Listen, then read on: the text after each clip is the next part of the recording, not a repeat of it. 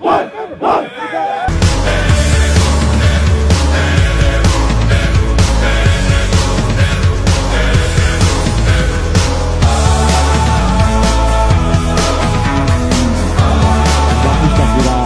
Hier AJ Marks erneut mit dem Ball und Touchdown Ohio Polar Bears hier direkt